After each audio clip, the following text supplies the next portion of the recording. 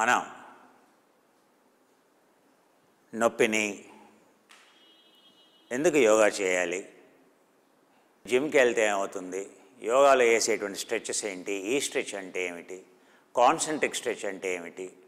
So ఒక కణజాలం metabolism పెరగాలి అని అంటే కొవ్వు కరగాలి అని అంటే మన ఈ స్ట్రెచ్ అనేది పరిశోధనలో తేలింది ఏంటంటే ఈ సెంట్రిక్ స్ట్రెచ్ ఏదైతే ఉంటుందో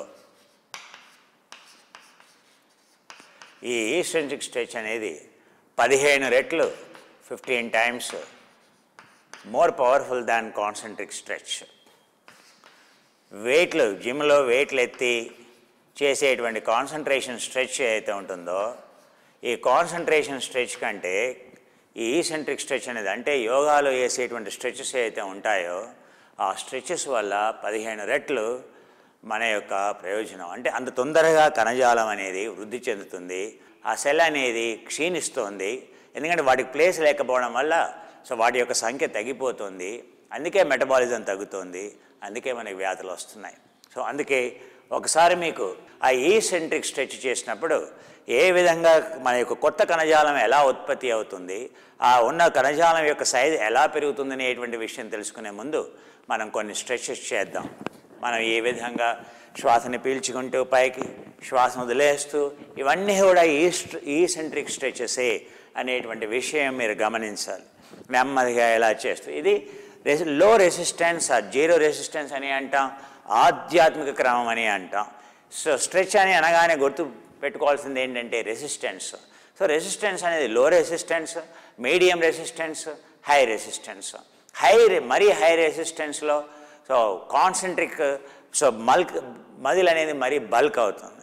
అందుకే మనం so low intensity stretch medium intensity stretch so అవి కూడా ఏసెంట్రిక్ స్ట్రెచ్ చేస్తే మన మన యొక్క కణజాలం మన యొక్క మెటబాలిజం తొందరగా పెరగాలి అని అంటే మన యొక్క స్ట్రెచెస్లో ఇంటెన్సిటీ రెసిస్టెన్స్ అని అంటాం ఆర్లో రెసిస్టెన్స్ స్ట్రెచెస్ అని అంటాం లేదా మీడియం రెసిస్టెన్స్ స్ట్రెచెస్ అని అంటాం.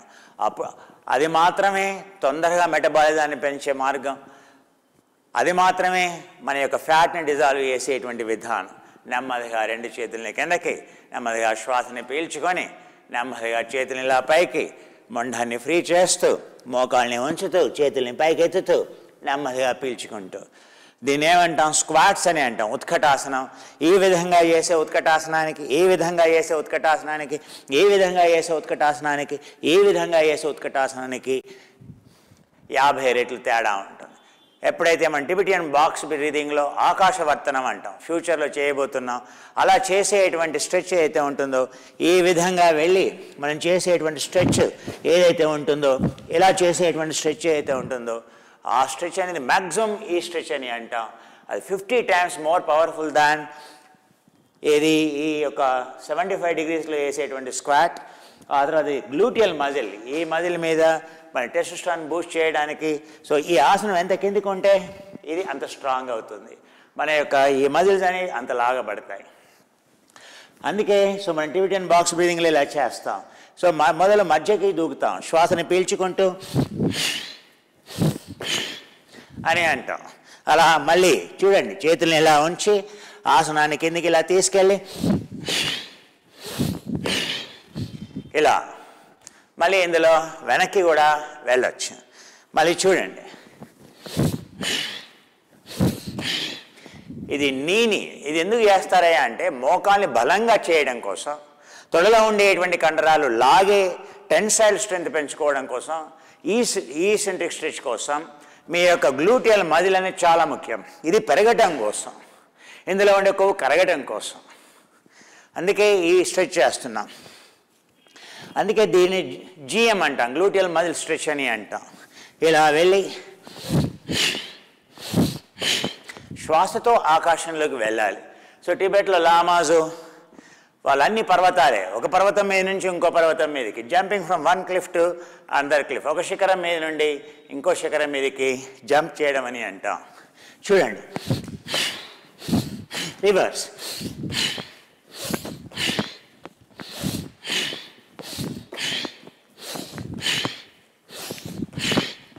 ఇవి చాలా పవర్ఫుల్ స్ట్రెచెస్ ఇందులో ఏ సెంట్రిక్ స్ట్రెచ్ ఉంది. మీ యొక్క ఎంజారెన్స్ ఉంది. రెండూ ఉన్నాయి. ఇప్పుడు లాంగ్ స్ట్రెచ్ హారిజాంటల్ స్ట్రెచ్ అని అంట ఆకాశవర్తనం అని అంట ఆకాశంలో ఎరడం అని అంట. ఇలా వెళ్ళి ఇలా వెళ్ళటం మళ్ళీ ఇలా వెళ్ళి చూడండి మళ్ళీ ఇలా వెళ్ళి తొడలో కండరాల్ని ఎనర్జైజ్ చేసి శక్తితో నింపి మళ్ళీ అలా వెళ్ళి మళ్ళీ ఇక్కడ నుండి మళ్ళీ ఇలా వెళ్ళి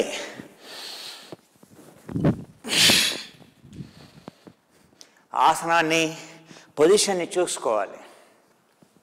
మళ్ళీ ఇలా ఇలా వెళ్ళి మళ్ళీ అలా వెళ్ళి మళ్ళీ ఇలా వెళ్ళి ఈ సెంట్రిక్ జంప్. మళ్ళీ కొంచెం కావాలంటే టైం తీసుకోండి. ఇలా. ఆ విధంగా. ఆసనం. చూడాల్సింది ఏంటి? ఆసనం కిందకి వెనక్కి కిందకి. శరీరం ముందుకి. ఇలా ఉంది అనుకోండి రెసిస్టెన్స్ ఎక్కువ అవుతుంది మోషన్ ఇలా ఉంది గుండె వేగం తగ్గుతుంది. ఇలా ఉంది బీపీ పెరుగుతుంది. అందుకే మనం జంప్ చేసేప్పుడు మొండె ముందుకు ఉండాలి. స్ట్రైట్గా పెట్టకూడదు. అందుకే ఇలా వెళ్తున్నాం. ఆసనం చెప్పాను కదా జిఎం ఆసనం ఎంత కిందికి ఉంటే ఆ స్ట్రెచ్ అంత పవర్ఫుల్గా ఉంటారు ఇలా వెళ్తాం.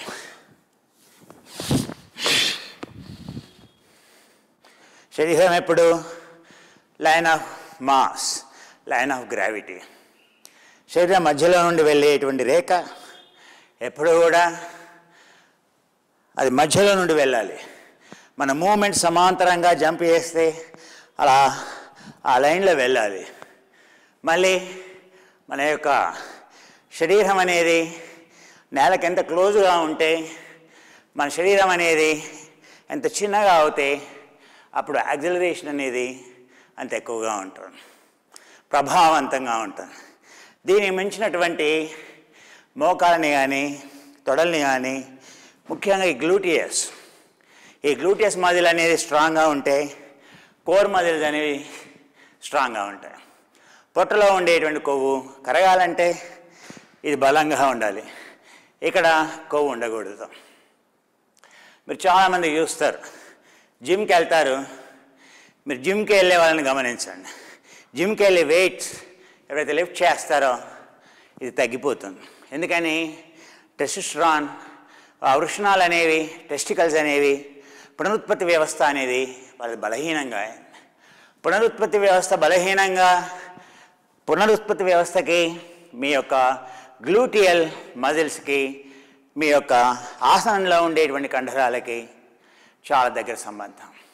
అందుకే మనం ఈ యోగాలో ఈసెంట్రిక్ స్ట్రెచ్ ఇప్పుడు వేసేటువంటి ఆకాశవర్తనం ఏదైతే ఉందో దీన్ని బలంగా వేసేది పునరుత్పత్తి వ్యవస్థని మీ గర్భాశయంలో ఉండేటువంటి మీ యొక్క పీసీఓడి లాంటి ప్రాబ్లమ్స్ని తీసివేసేటువంటి అద్భుతమైనటువంటి జంప్ అది. కానీ సైంటిఫిక్ జంప్ ఇందులో ఎంతో టెక్నాలజీ ఉంది.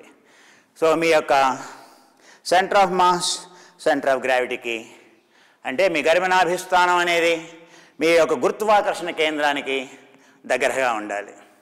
Centre of mass should be close to centre of gravity అలాగే line passing to the centre of mass should be in line with the centre of gravity అప్పుడు ఎనర్జీ కన్జర్వేషన్ అనేది అవుతుంది. ఈ రెండు principles గుర్తుపెట్టుకుంటే అప్పుడు మీకు దీనివల్ల పూర్తి ప్రయోజనం అనేది చేకూరుతుంది. ఈ విధంగా చేస్తూ చేసేటువంటి ఈ స్ట్రెచ్ జంప్స్ అండ్ ఆకాశవర్తనం అంట టీబెట్లో. సో మనం బాక్స్ బ్రీదింగ్ చేసాం. ఆ బాక్స్ బ్రీదింగ్లన్నీ కూడా ఇవన్నీ కూడా డెన్సిటీ పెంచేవి. ఎనబాలిక్ యాక్టివిటీ అంటాం. ఆ ఎనబాలిక్ యాక్టివిటీ ఏమిటి అనేది మనం నేర్చుకుందాం. క్షుణ్ణంగా నేర్చుకుందాం. సో దాని ముందు మనం ఈ స్ట్రెచెస్ చేస్తున్నాం. ఇలా దీని ఏమంటాం? దీన్ని ఉత్కటాసనం అని అంటాం. ఇలా చేతులు వెనక అంటున్నాం. ఇలా పైకి. ఎందుకని? ఆసనం ఎంత కిందికి వెళ్తే అది మీ యొక్క ఆసనంలో ఉండే కండరాలని అంత బలంగా చేస్తుంది. అంటే మీ నడుము అంత బలంగా తయారవుతుంది. మీ యొక్క ఎల్ ఫైవ్ ఎస్ వన్ ఏదైతే ఉందో అది అంత బలంగా తయారవుతుందని అర్థం. అందుకే చాలా శాస్త్రీయంగా చేయాలి. చాలామంది స్క్వాష్ తప్పు చేస్తారు. ఉత్కటాసనం చాలా తప్పుగా చేస్తారు. అందుకే మూడు రకాలైన ఉత్కటాసనాలు. ఇలా వేసే ఉత్కటాసనం? వీరభద్రాసనంలో వేసేటువంటి ఉత్కట ఇది కూడా ఉత్కటమే. ఇక్కడ ప్యారలల్గా ఉంది. ఆ తర్వాత వేసేటువంటి ఉత్కటం. ఈ విధంగా వెళ్ళి వేసేటువంటి ఉత్కటం. ఆ తర్వాత ఇలా చేసేటువంటి ఉత్కటం. ఎప్పుడు కూడా మోకాలు కిందికి ఆసనం వెళ్తే ఆ ఉత్కటం చాలా శ్రేయస్కరం. కానీ మోకాలు కిందికి ఆసనం వెనక్కి వెళ్ళినప్పుడు ఆసనాన్ని వెనక్కి నెట్టాలి. ఆసనాన్ని వెనక్కి మీరు ఇలా నెట్టలేదు ఇలా నెట్టలేదు మీ యొక్క తల వీపు లైన్ అనేది ఇలా వెనక్కి ఉండాలి. ఉంటే మీ సెంటర్ ఆఫ్ గ్రావిటీ అనేది సెంటర్లో ఉంటుంది. ఈ లైన్ అనేది వెనక్కి ఉంటుంది సెంటర్ ఆఫ్ గ్రావిటీ అనేది. Centre of mass centre of గ్రావిటీకి లైన్లో ఉంటుంది. అప్పుడు మీకు ఎనర్జీ కన్జర్వేషన్ ఉంటుంది. మనం అలా కిందికి తీసుకెళ్ళి ఇలా పెట్టాం నడుము పోతుంది. చాలా పొరపాట్లు చేస్తాం. సో అందుకే వెనక్కి నెట్టాలి. ఆసనాన్ని వెనక్కి ఇలా నెట్టాలి. అప్పుడే ఈ యొక్క ఆసనం అనేది బలంగా అవుతుంది. ఎవరితో ఎవరినో వెనక్కి నెడుతున్నట్టుగా భావించాలి. ఆసనంతో ఎవరు వెనక ఉన్నారు వాళ్ళని. అలా వెనక్కి నెడుతున్నాం అనేటువంటి భావనతో మనం చేయాలి. అది అప్పుడు ఆ జంప్ అనేది చూసారుగా ఈ చివరి నుండి నేను ఆ చివరికి జంప్ చేస్తున్నాను ఎక్కడి నుండో వచ్చి పరిగెత్తి కాదు. ఇక్కడ నుండే నేను ఏడు అడుగుల దూరం దూకుతున్నాను. ఈ మ్యాట్ ఏడు అడుగులు. ఈ ఏడు అడుగులు నేను దూకేస్తున్నాను. ఎందుకని? ఈ స్ట్రెచ్. అక్కడ ఏమవుతుంది? ఈ యొక్క హ్యామ్ స్ట్రెంగ్స్ ఇది క్వాడ్స్ అని అంట. క్వాడ్ క్వాడిసెప్స్ ఫెమోరిస్ రెక్టస్ ఫెమోరిస్ అని అంటాం. ఈ మోకాళ్ళు ఈ యొక్క గ్లూటియస్ ఈ గ్లూటియస్కి ఇది ఫ్లెక్జన్గా పనిచేస్తుంది ఇది ఎక్స్టెన్సర్గా పనిచేస్తుంది. అదే మీ మోకాలకి ఇది ఎక్స్టెన్సర్గా పనిచేస్తుంది ఇది ఫ్లెక్జన్గా పనిచేస్తుంది. సో మనం రెండింటి మీద పనిచేస్తున్నాం. ఒకటి మోకాల మీద ఒక తొడలో ఉండేటువంటి కండరాల మీద పనిచేస్తున్నాం. సో ఈ విషయాన్ని గమనిస్తూ మళ్ళీ కొన్ని ఈ స్ట్రెచెస్ చేద్దాం. ఇది కూడా ఈ స్ట్రెచ్ శ్వాసను పీల్చుకుంటూ నెమ్మదిగా పైకి ఇలా ఫ్రీ చేస్తూ నెమ్మదిగా శ్వాసను వదిలేస్తూ ముందుకి నెమ్మదిగా కిందకి. నెమ్మదిగా శ్వాసను పీల్చుకుంటూ ఇలా పట్టుకొని నెమ్మదిగా పైకి నెమ్మదిగా కిందకి నెమ్మదిగా కిందకి. నెమ్మదిగా శ్వాసను పీల్చుకుంటూ నెమ్మదిగా కుడి చేయని ఇలా పట్టుకొని నెమ్మదిగా పైకి. One two three four five six seven. నెమ్మదిగా ముందుకి నెమ్మదిగా చేతులని కిందకి. నెమ్మదిగా రెండు చేతులని ముందుకి. శ్వాసని పీల్చుకుంటూ నెమ్మదిగా పైకి. చక్కగా ఏకం ద్వేనం త్రీణం చతురం పంచమ షఢమం సప్తమం. శ్వాసని వదిలేస్తూ చేతులని కిందకి. నెమ్మదిగా పరివర్తనం. చుట్టూ తిప్పుతూ ఈ విధంగా కుడివైపుకి మళ్ళీ ఎడం వైపుకి ఫ్రీ చేస్తూ. ఇలా ఎగ్జల్ రొటేషన్స్ అని అంటే ఇవన్నీ కూడా ఈ స్ట్రెచెస్ కానీ జీరో రెసిస్టెన్స్ ఈ స్ట్రెచెస్. చేస్తేనే అప్పుడు ఆక్సిజన్ సప్లై పెరుగుతుంది. ప్రోటీన్ సింథసిస్ జరుగుతుంది. నెమ్మదిగా ఇలా పక్కకి. నెమ్మదిగా మళ్ళీ మధ్య భాగానికి. నెమ్మదిగా శ్వాసని పీల్చుకుంటూ. నెమ్మదిగా శ్వాసను వదిలేస్తూ. మళ్ళీ పైనుండి శ్వాసని పీల్చుకుంటూ. నెమ్మదిగా శ్వాసను వదిలేస్తూ. నా పాదాన్ని మోకాల్ని మొత్తం గమనించండి. అనుభూతిని పొందుతూ శ్వాసని పీల్చుకుంటూ. ఎక్స్పీరియన్సింగ్ ఇట్ శ్వాసని పీల్చుకుంటూ శ్వాసను వదిలేస్తూ. నెమ్మదిగా లాటరల్ బెండ్ అని అన్నాం. ఈ స్ట్రెచ్ ఫస్ట్ ఈ స్ట్రెచ్ ఈ ఈ ఈ భాగంలో ఉండేటు ఆరు అంగుళాలు. ఇన్హేల్ నెమ్మదిగా ఇలా ఉంచి శుభ్రంగా దీన్ని అలైన్మెంట్ చూసుకోవాలి. నెమ్మదిగా దీన్ని చూస్తూ నెమ్మదిగా.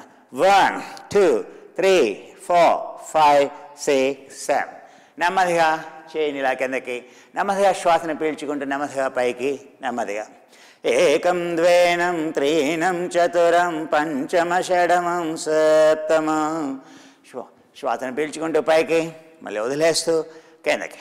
మళ్ళీ కాల్ని కొంచెం దూరంగా పెట్టి ఈ పాదాన్ని ఫ్రీ చేస్తూ నెమ్మదిగా ఇలా ఉంచి. చూడండి ఇలా గ్లూటియస్ మీడియస్ని ఇప్పుడు నెమ్మదిగా వెన్నుముక కింది భాగానికి వస్తున్నాం ఈ స్ట్రెచ్. అక్కడ ఉండేటువంటి కండరాల్ని బలపరుస్తూ. ఏకం ద్వేనం త్రీణం చతురం పంచమ షడమం సప్తమం. నెమ్మదిగా ఇలా కాలు నుంచి కాలుని కాల్ని ఫ్రీ చేస్తూ నెమ్మదిగా ఈ చేయిని పైకెత్తి. ఏకం ద్వేనం త్రీణం చతురం పంచమ షడమం సప్తమం. శ్వాసని పీల్చుకుంటూ మళ్ళీ నెమ్మదిగా పైకి. మళ్ళీ రెండు రెండు అడుగుల దూరంలో. ఇలా ఉంచి చేయిని ఇక్కడ ఆనించి గ్లూటియస్ మీడియస్ని ఈ రెండు అలైన్మెంట్ చేసుకుని మళ్ళీ ఇక్కడ చూస్తూ నెమ్మదిగా విన్యాసంలోకి వెళ్తూ ఏకం ద్వేనం త్రీణం చతురం పంచమ షడమం సప్తమం. శ్వాసని పీల్చుకుంటూ పైకి మళ్ళీ శ్వాసను వదిలేస్తూ కిందకి మళ్ళీ కుడి పాదాన్ని ఇలా ఉంచి రెండు అడుగుల దూరంలో ఎడమ పాదాన్ని లంబంగా ఉంచి నెమ్మదిగా శ్వాసని పీల్చుకొని నెమ్మదిగా చక్కగా ఇలా లోపలికి అంటూ నెమ్మదిగా మీ నడుముని చూసి నెమ్మదిగా భుజాన్ని చూస్తూ చక్కగా. ఏకం ద్వేనం త్రీణం చతురం పంచమ షడమం సప్తమ. నెమ్మదిగా శ్వాసను పీల్చుకుంటూ పైకి నెమ్మదిగా శ్వాసను వదిలేస్తూ కిందకి. నెమ్మదిగా కాలు ఇంకా ముందుకి. స్ట్రెచ్ అనేది పెరుగుతూ ఉంది గమనించండి. యాంగిల్ అనేది మన పైనుండి వెన్నుముక పై భాగం నుండి కింది భాగానికి వెళ్తూ ఉన్నాం మనం. సో నెమ్మదిగా ఇక్కడ పక్కన ఉండేటువంటి కండరాలు పూర్తిగా లాగబడతాయి. దీన్ని త్రికోణాసనం అని అంటాం. ఇలా వెళ్ళి ఈ చైన్ వదులుగా వదిలేసి ఈ యొక్క యాంగిల్ని చూసుకోండి. ఇక్కడ చూసుకోండి. నెమ్మదిగా ఇలా. ఏకం ద్వేనం త్రీణం చతురం పంచమ షఢమ సప్తమ. ఏకం ద్వేనం త్రీణం చతురం పంచమ షడమం సప్తమ. శ్వాసని పీల్చుకుంటూ నెమ్మదిగా పైకి. శ్వాసను వదిలేస్తూ నెమ్మదిగా కిందకి కుడి పాదం లంబంగా ఉంచండి. మూడు అడుగుల దూరంలో ఎడమ పాదంతో చేసేది త్రికోణాసనం. ఈ విధంగా ఉంచి నెమ్మదిగా చూడండి. ఈ నడుముని ఇలా ఉంచి నెమ్మదిగా ఎడమ చేయిని ఇలా ఉంచి కుడి చేయిని పైకి. ఏకం ద్వేనం త్రీణం చతురం పంచమ షడమం సప్తమం. ఏకం ద్వేనం త్రీణం చతురం పంచమ షడమం సప్తమం. శ్వాసను పీల్చుకుంటూ నెమ్మదిగా పైకి వదిలేస్తూ కిందికి. ఇక్కడ మొదలవుతుంది వీరభద్రాసనం. వీరభద్రాసనం రెండవ ఆసనం. అలా మ్యాట్ మధ్యలో ఉంచి నెమ్మదిగా ఇలా ఉంచి మొండాన్ని స్ట్రేట్గా ఉంచి ఉంచేటువంటి ఇవన్నీ స్ట్రెచెస్. ఈ కాల్లో ఉండేటువంటి కండరాలు ఎలా లాగుతున్నాయో గమనించండి. This is a mango orange this is also now coming to an end maybe this I may give you know, I, I'm not sure whether I give you or not, but this is also coming to an end. Uh, only 10 tins or 15 tins are left out. This is also beautiful. It looks like a, pure orange powder, pure Alfonso mango powder only we use. Orange, only Nagpur orange we use. Not the word, in oranges, hundreds of varieties out there. But this is a, a truly like a mango juice, mango orange mix. Because though they have to mix it, because they have the drawbacks as an orange alone when you use, as a mango all alone when you use. You know, this one purifies the blood, cures all the skin diseases, many people found. And you know, so if you are a singer, excellent, this particular Somarasa is excellent. Even the next, if at all, if I give you after this match is over, I'm not sure. But if at all, if I'm going to give you, it stands out much more than this. This is a pure mango powder we use, using our own technologies. We give the technologies, we spend the money for those technologies, those equipments, then we get it done. No, absolutely no compromise. Even a big, big multinationals will not do. Let me tell you. Their purchase managers buy. You may be thinking, do you think company owner knows? They have no idea at all.